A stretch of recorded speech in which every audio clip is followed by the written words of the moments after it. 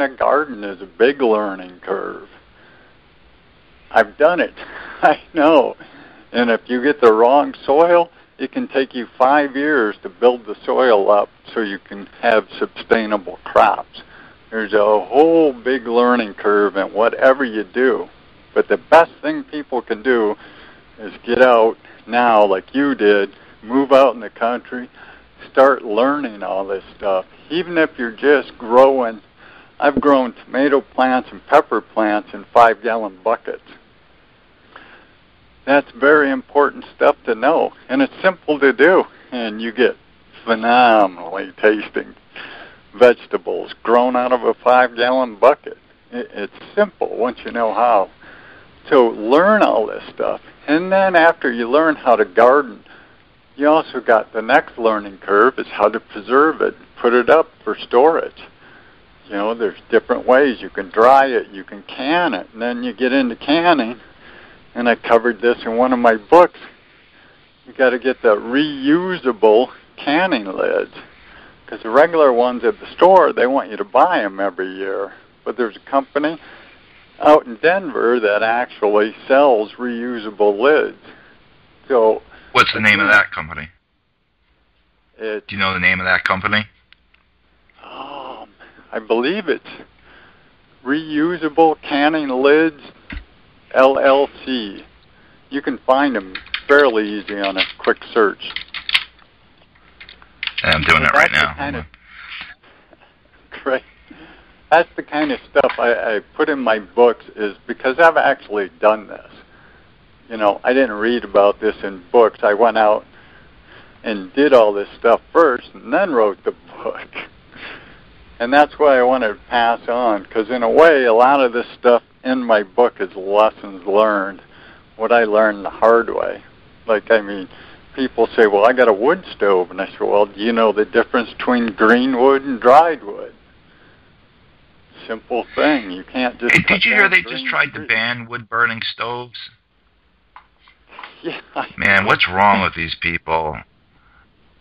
Jeez. So hung up in this whole worship the earth religion. They would rather have people suffering, freezing to death, than allow wood stoves. I mean, it's totally ridiculous. Yeah. Uh, there, there was a report that came out recently that scientists are saying that they can't really back up the fact that humans have any influence on any of the stuff that's going on. That it's all from um, the sun and volcanoes, and and that this is a a scam by uh, people in that those movements to institute a carbon tax. Um, so well, where we pay more money to them. Right. And, uh, right. There's, there's a it- great video on YouTube. It's uh, Al Gore to become a billionaire on carbon tax. I don't remember the exact title, but it explains why he was pushing it so hard. Is because they were going to be a major exchange for this carbon credit, and he was going to be a instant billionaire if it would have got passed. And my biggest complaint with the whole environmental movement on the global warming is okay, let's say that you guys are right. What's your solution? Tax everybody to death? Make poor people pay $10 a gallon for gas and $9 a kilowatt for electricity? I mean, what kind of solution is that? That's not a solution, that's greed. And that's when I started researching into it, and it's all about human control. Has nothing to do with saving the environment. Yeah, that's what it all boils down to.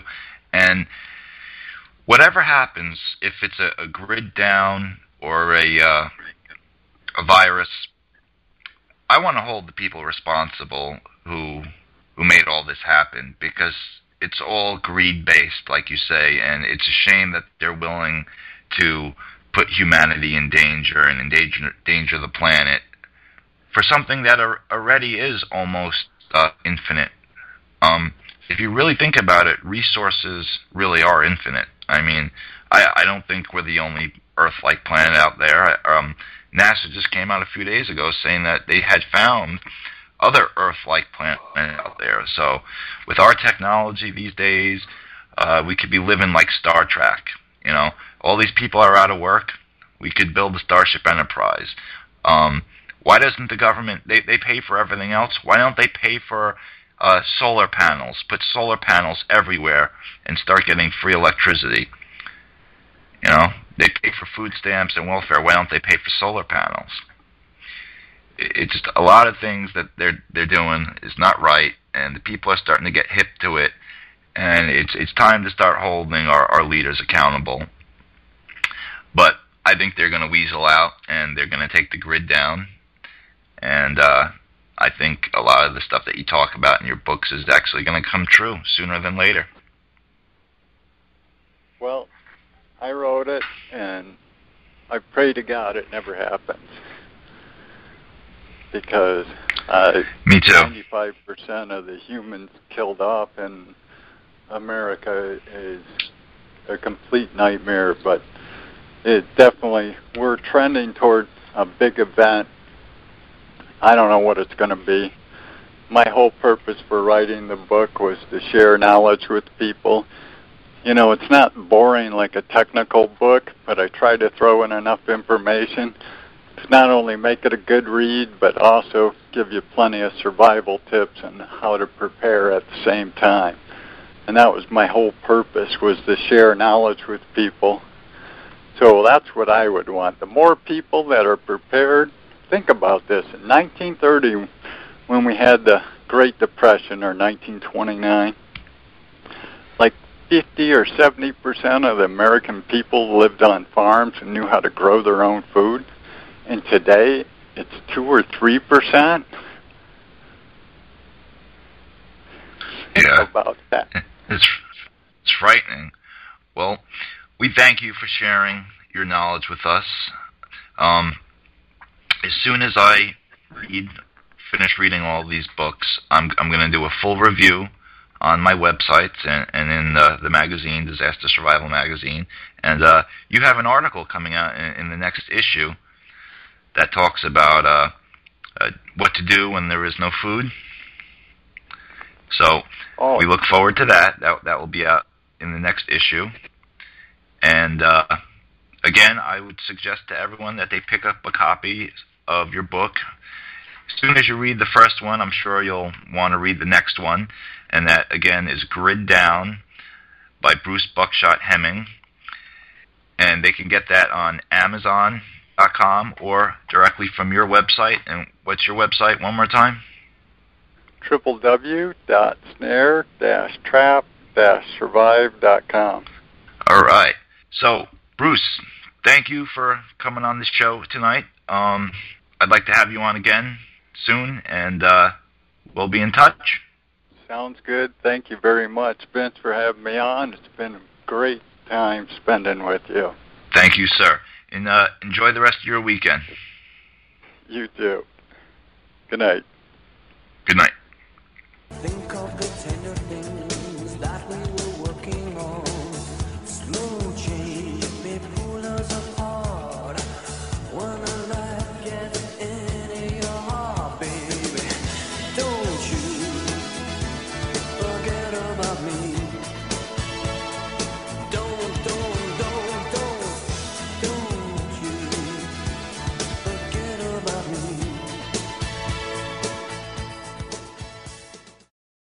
Is the Second Amendment your line in the sand? Is the United States Constitution important to you? Are you worried about gun confiscation? You need to join us for free at gunconfiscation.com. At gunconfiscation.com, you will meet like minded patriots, get the latest Second Amendment news, and find anything you need to prepare for gun confiscation. Visit gunconfiscation.com today. That's gunconfiscation.com.